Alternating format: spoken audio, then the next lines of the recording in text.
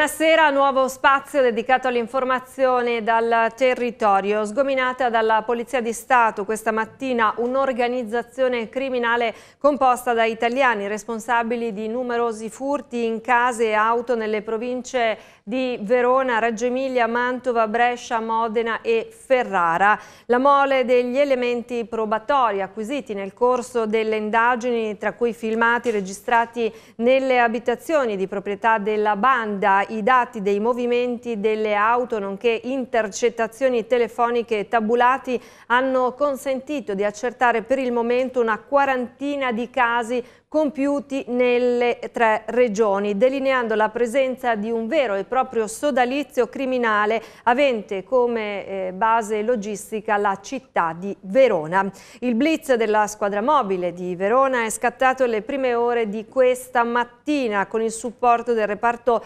prevenzione crimine del Veneto e delle squadre mobili di Milano, Venezia, Treviso e Udine. Già dalle prime ore della mattinata di oggi sono stati eseguiti numerosi arresti.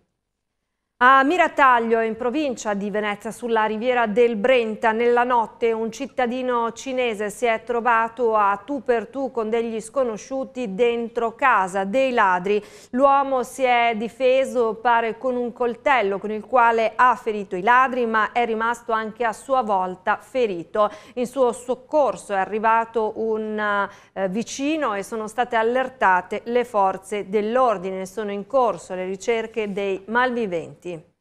Novità sul caso di Isabella Noventa. Ora il compagno di Deborah, una delle arrestate in questa terribile vicenda, risulta indagato. Allora sentiamo gli ultimi sviluppi.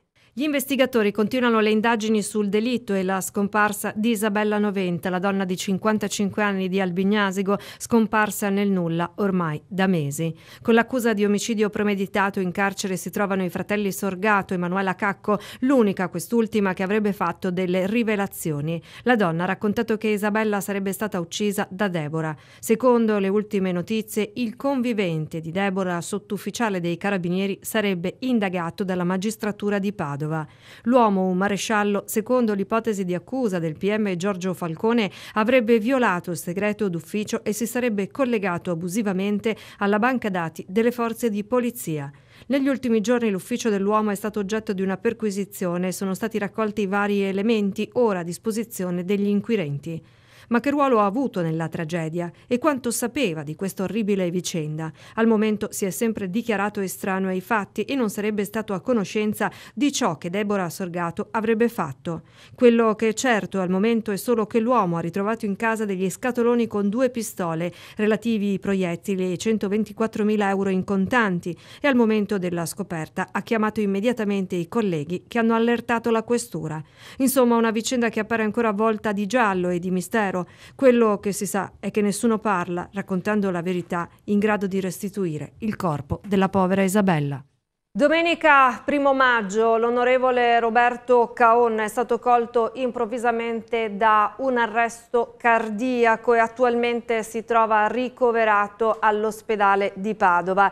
I medici sono riusciti a stabilizzare le sue condizioni cliniche. Sono ore ovviamente di grande apprensione. Vi terremo aggiornati sull'evolversi delle sue eh, condizioni di salute gli esprimiamo vicinanza sperando che possa riprendersi presto.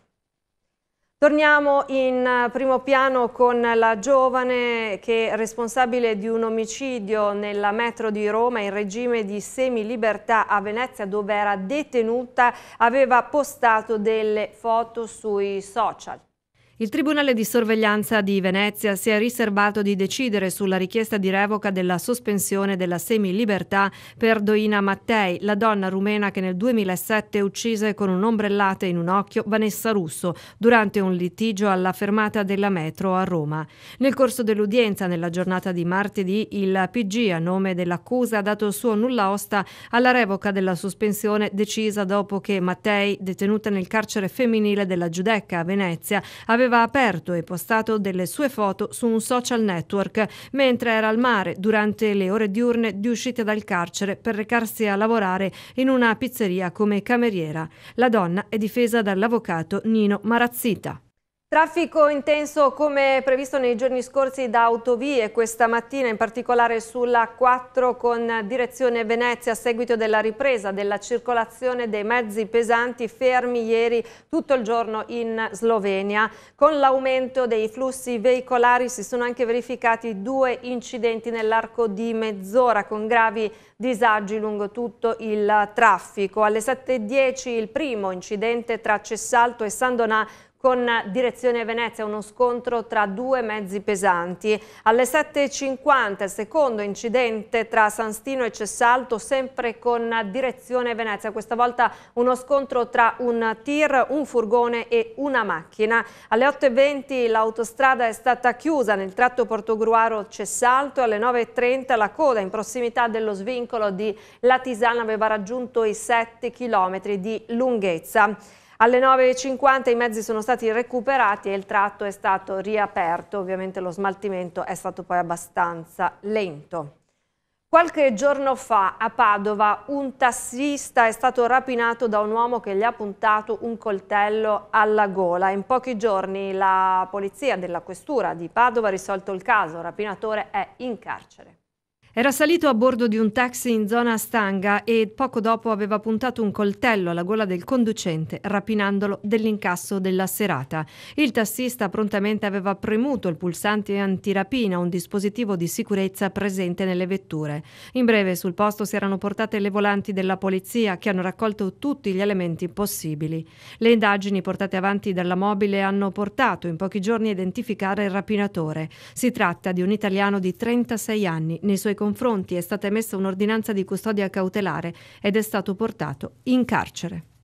Una giovane inglese di 21 anni ha cercato di pagare un bracciale d'oro del valore di circa 12.000 euro in un negozio Cartier con delle carte di credito risultate false. La donna è stata arrestata dagli agenti delle volanti, era in compagnia di un'altra giovane, anche lei inglese. Al momento del pagamento del gioiello aveva presentato tre carte di pagamento diverse, senza che il pagamento però andasse a buon fine fine. Insospettito il personale del negozio ha chiesto l'intervento della polizia. La giovane è stata accompagnata in questura ed è risultata in possesso di altre sei carte di credito, di cui cinque false, nonché di un foglio manoscritto sul quale erano annotati i numeri delle carte di pagamento possedute e un elenco dei negozi del centro di Venezia dove forse voleva fare acquisti. La ragazza è in attesa di comparire davanti al giudice. E adesso la rubrica dedicata al fisco in 60 secondi con l'esperto tributarista Alberto De Franceschi. Buonasera, ma alla fine sulla prima casa paghiamo le tasse? È una delle domande che mi vengono poste sempre più spesso in studio. La legge di stabilità 2016 ha portato una rivoluzione sul fronte della tassa sulla casa e quindi sia l'IMU che la Tasi sulla prima casa non deve essere più pagata, così come previsto dal decreto Salvi Italia. Non si paga nemmeno l'IMU agricola e quella sui macchinari imbullonati. Per prima casa si intende l'immobile dove il proprietario e la sua famiglia vivono abitualmente e vi risiedono anagraficamente. Ma attenzione, se i familiari risiedono in case diverse ma nello stesso comune, soltanto una una delle due case avrà l'esenzione. Se invece le case sono in comuni diversi, spetta a entrambe l'esenzione. La casa deve essere iscritta come un'unica unità immobiliare. Anche le pertinenze della casa principale come il box auto, le tettoie, i magazzini, i locali di sgombro e le cantine sono esenti. Non sono esenti invece le case di lusso, cioè le case signorili, eh, le ville, i castelli che continueranno comunque a pagare sia l'IMU che la Tasi, ma con un'aliquota agevolata al 4 per 1000 e una detrazione di 200 euro. Rimane comunque da pagare la Tari, che è la tassa sui rifiuti urbani, che è una delle tre imposte e, e tasse con IMU e Tasi che formano la nuova imposta imposta locale unica chiamata IUC. Buonasera. Grazie ad Alberto De Franceschi, vi ricordo tutti i giorni la rubrica dedicata al fisco in 60 secondi e il mercoledì sera dopo il TG l'approfondimento. Ora uno sguardo alle previsioni del tempo per la giornata di domani. Il cielo sarà in prevalenza sereno poco nuvoloso tra il pomeriggio e la sera, tratti parzialmente nuvolosi o nuvoloso. È tutto per questa edizione, vi ringrazio per la vostra attenzione e vi auguro una buona serata.